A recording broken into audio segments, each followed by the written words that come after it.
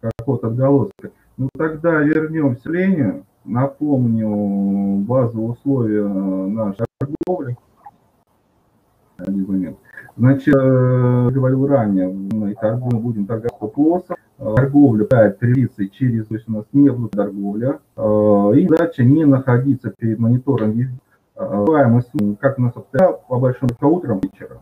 Из этих у нас формируется подход к клиенту, в частности, выбор инструмента, исходим из что размер торгового депозита должен быть сопоставим со стоимостью торгу, торгуемого инструмента. И еще один такой аспект, мы торгуем только в long по причине того же риск-менеджмента. А, напоминаю, что нами была выбрана из расчета размера депозита. Депозит мы для этих целей открыли небольшой, всего 2965 долларов а, в американском лицензированном FCM брокере.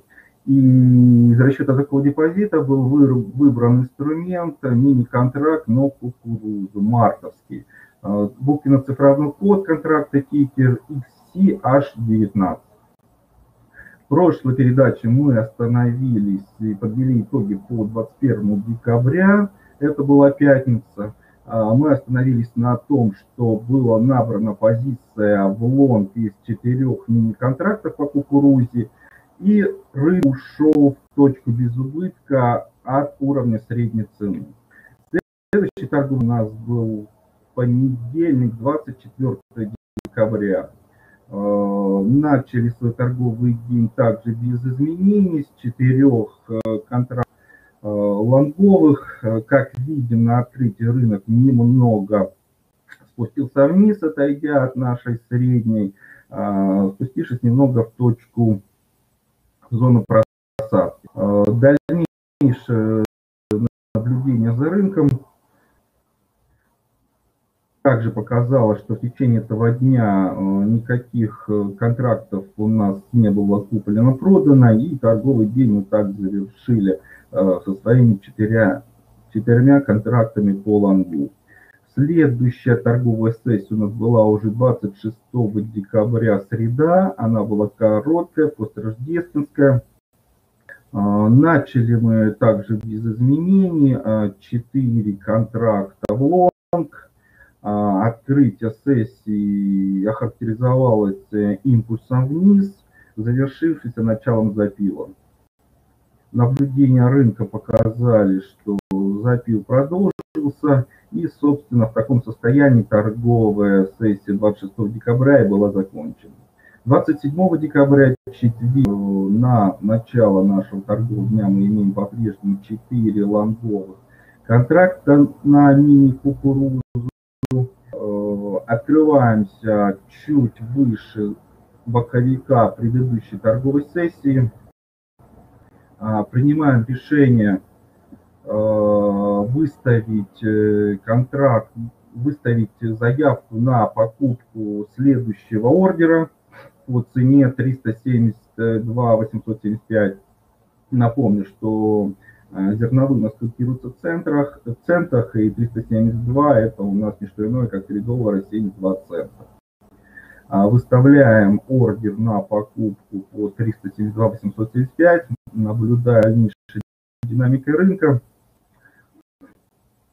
Рынок ходит более широкой реке в этот день.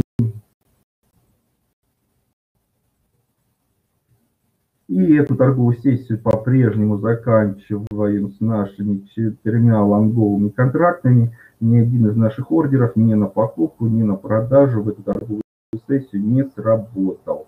Следующая торговая сессия у нас пятница 28 декабря. Открываемся по-прежнему с нашими четырьмя лонговыми контрактами. За ночь никаких изменений по позиции не было. Рынок находится в том же диапазоне, где и закрывался предыдущую торговую сессию.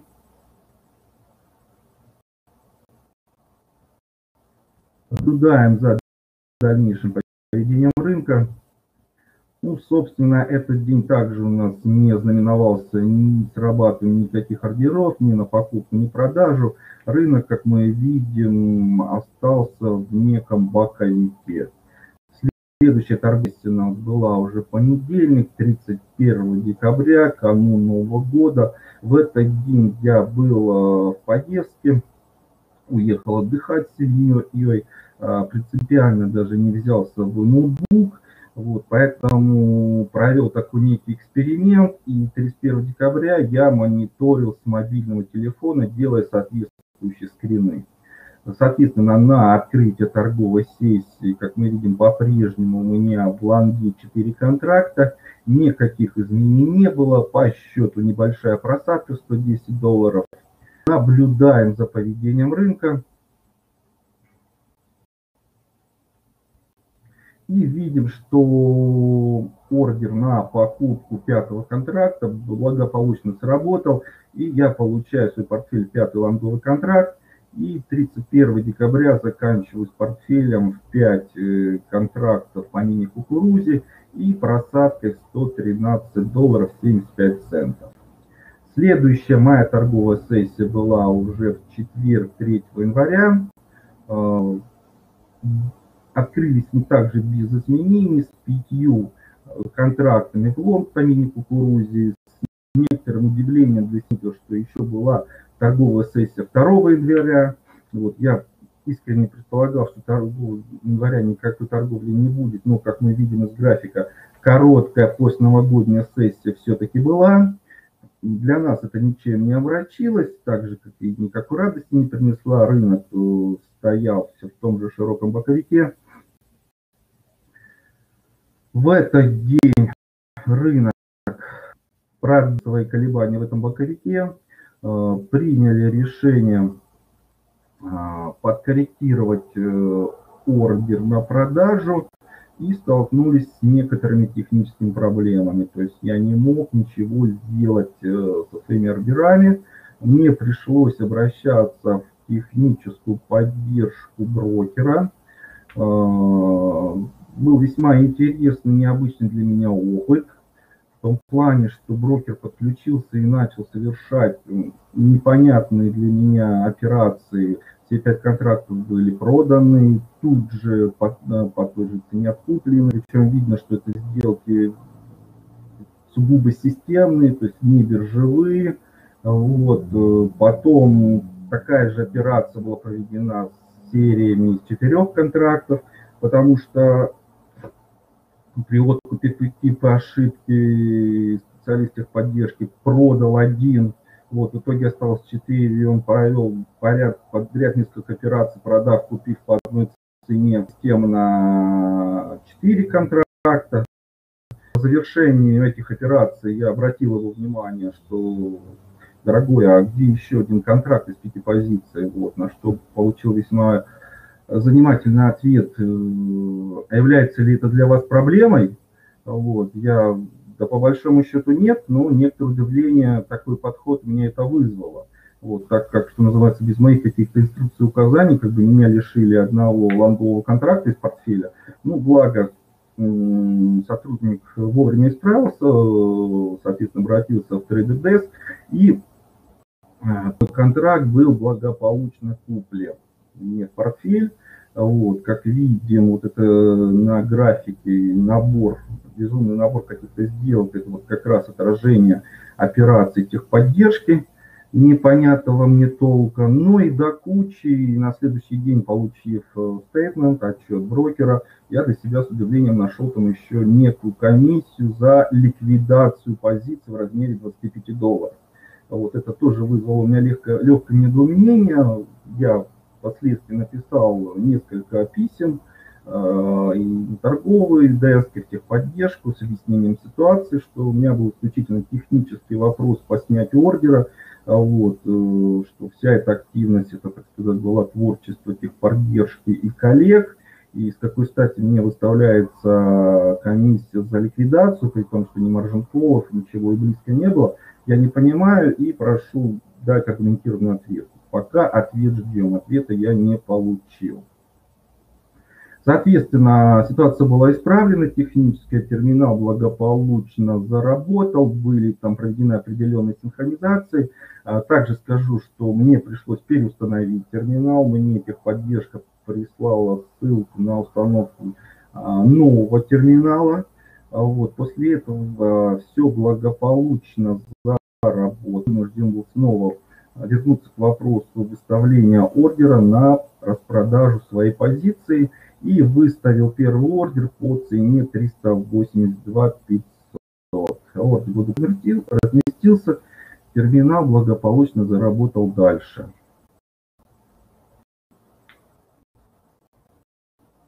Как видим, в этот же день после этой заморочки рынок начал благополучно расти, двигаясь в сторону моего ордера на распродажу.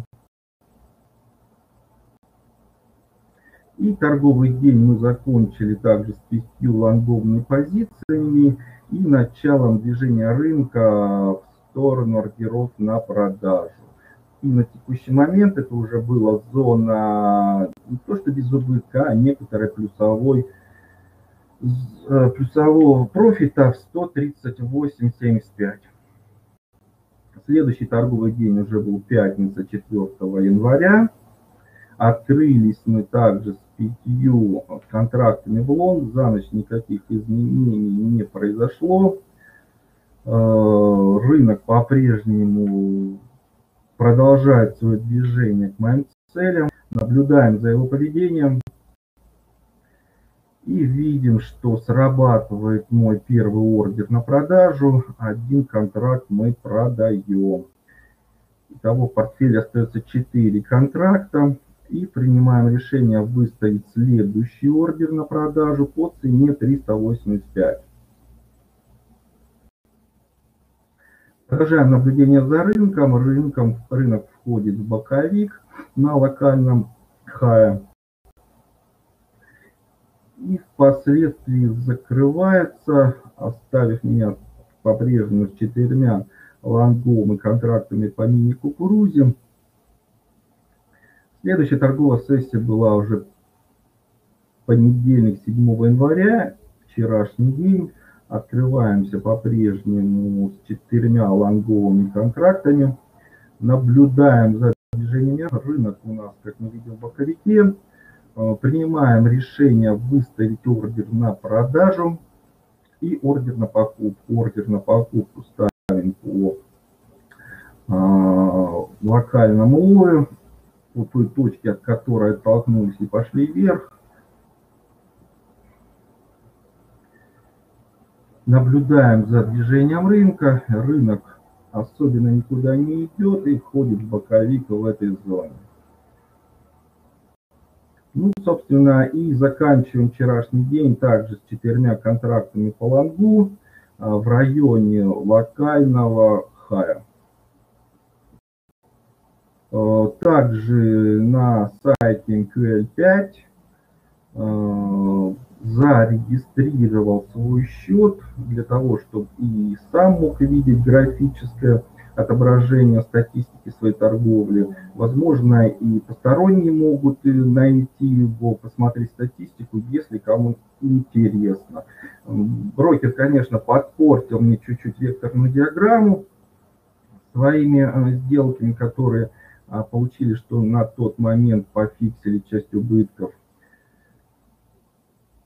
ну и, собственно, из э, данных графиков видим текущее положение дел, что счет сейчас находится в плюсовой зоне а, чуть меньше 22%.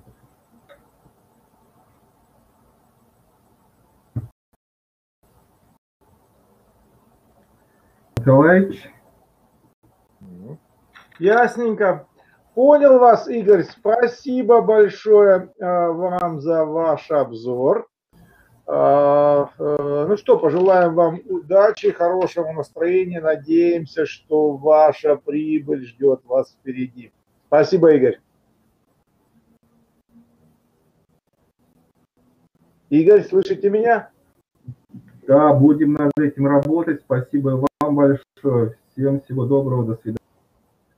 Да, я вас слышу. Вы меня? Да, да, слышу вас, слышу. Все, спасибо. Да. Хорошего дня. Удачи. До свидания. Спасибо вам. Всего доброго.